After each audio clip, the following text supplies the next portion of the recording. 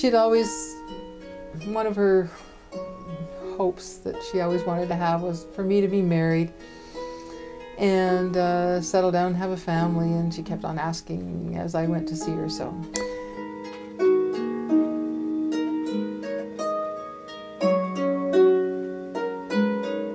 And it reminds me of Alice in Wonderland and all of these other analogies where you fall through a hole in the ground that you've looked at all your life and never noticed there was a hole there, or, or as in Narnia, there's a, going through the wardrobe you've seen all your life and suddenly discover that by going, opening the doors you can go through the back of it into another world.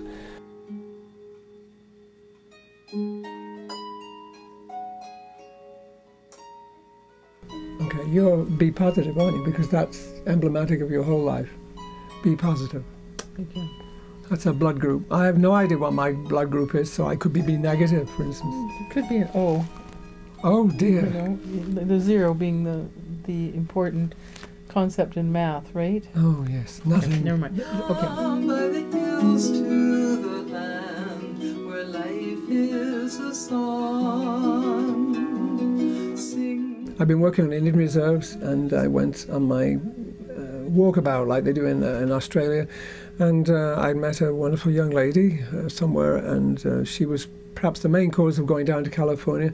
I was told not to pick up any people, hitchhikers, which of course I did do, and I had a wonderful, wonderful time. Well, for instance, one of the men um, I remember we stopped. He said, "Oh, got to stop in this little town." So we stopped. You know, maybe went a little bit to eat. There's this massive black man walked down the street, and he said, "Hello, brother," to the man I'd given a, a ride to. And he, the black man turned to me, gigantic guy, and turned to me and said, "Hold, hold, brother," and gave me a hug. Well, this still makes me want to cry because this this possibility of of instant connection uh, with other human beings uh, that we don't know, you know, the brotherhood of, of mankind seemed to be so wonderful. So I was on my way back and I was feeling very down about coming back to what seemed to be very mercantile commercial experience in in Calgary and where could I find people who were alive like this? and so I came along the 1A highway because it was seemed to be related to this this reality, as it were, rather than going down the big main highway. and uh, I got to the bottom of Cochrane Hill. This would have been August 1971.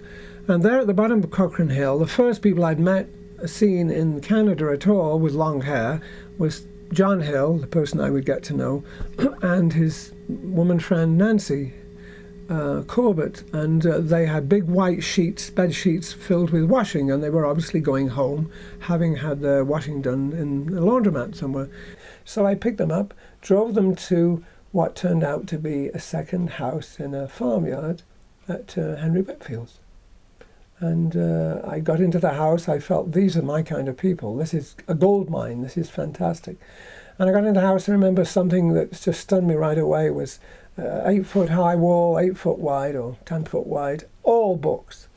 And it's just, I don't, that was a very important image and, on the whole thing. And I thought, ah, in addition to having talked with them, I thought, these are my people. This is, this is like going to church or something for some people. This is, this is a gold mine for me. Come by the hills to the land. And so it was um, Christmas Eve 1976, so that would be five years later. Well, I, I spent many years with them, visiting them and staying overnight and all the rest of it, and, uh, and weekends. and then they, they emigrated to Australia. So every year I would hear from them at Christmas, and this year, Christmas Eve, Christmas before Christmas 1976, I hadn't heard from them, and I was really wanted to know, keep up the contact uh, I came to Henry's door and asked had he received a card, Christmas card, or any message from my good friend John Hill in Australia, and I don't remember his response. But anyway, my, in my memory, he, we left his house, walked around the corner, walked about 50 yards up to a white picket fence, and there at the gate was Marjorie. I was teaching in Calgary, Mayland Heights School, and living in a little house on Memorial Drive called Glenwood Manor that had lots of wonderful stained glass windows, etc., etc. And um, so I uh, had just been to Europe and really enjoying uh, living in the country and knowing that I would like to be in the country and always looking for second houses on farmyards somehow, but never never happening. My grandmother passed away in Calgary, and I had spent some time with her, and and um, especially when she had uh, passed away, uh, just five minutes before I came to visit her, they said, "Don't go in there. Uh, she's uh, she's dead."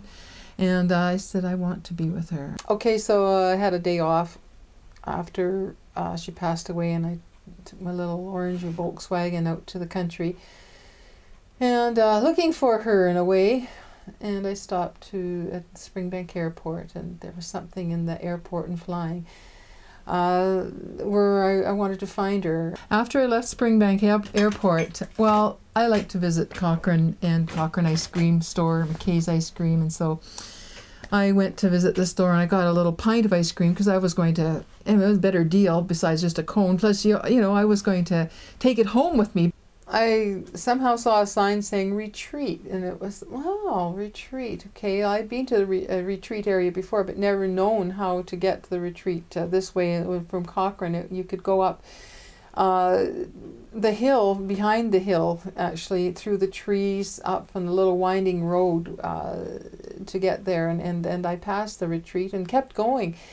And over as I got up a little bit towards the, the hill, I saw this barn and I saw this white farmhouse. Wow, okay.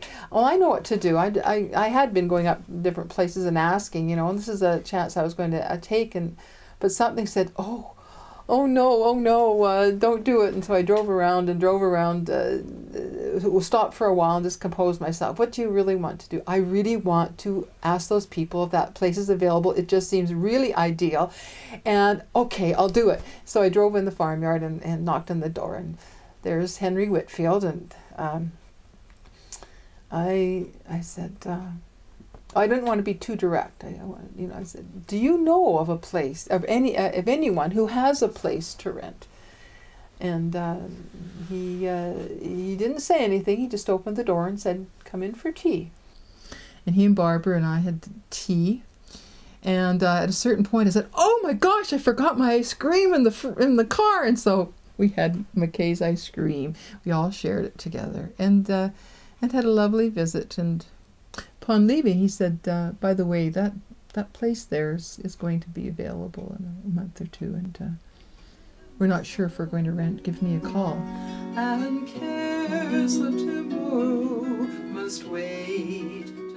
I didn't know it when my friends left to go to Australia. Marjorie was the next person renting there, and she didn't know either this connection either. And so Henry Whitfield introduced me to Marjorie then, Christmas Eve. So what happened? So you were going down the road. Hen, uh, Henry had gone down the uh, the lane to get the mail, which is the mailboxes at the end of the road, and he was just coming back.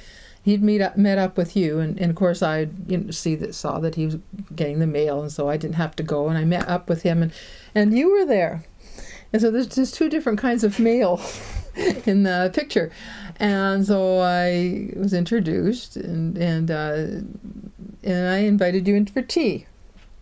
I came in for a cup of tea and uh, I saw another young man sitting there, and I didn't know whether what the relationship was, and it wasn't for me to ask. And I thought, well, you know, she, Margaret's got this other young man here, another fellow, and I just had a nice cup of tea, and I didn't even give you my phone number. I don't know why. No, you didn't, and I, I was a bit interested. And I said, well, by the way, do you have a phone number? Do you have a location or anything? And you were so uh, scattered about it, and non like sure. I'm non-committal, not sure at all. And I thought, oh, that guy. I'm not even going to think about him even once. He's he's telling me right there that he's not interested. So, and in May. And in May, well, I was going to see another lady that I'd met, uh, in, and she was now living in Ontario, and so this this is a common thing. I thought, well, what what have I got to lose? You know, I I, I want to know. Be, I have before I go to Ontario to see this young woman called June uh, that I've met here and had a fabulous time on the coast on the big trips and things. I've I've got to. I don't want to go to Ontario and not having checked out this possibility. So in May, I remember I, was ready to pack up my belongings and so on and get get the car ready to go in a, in a matter of a, a month or two.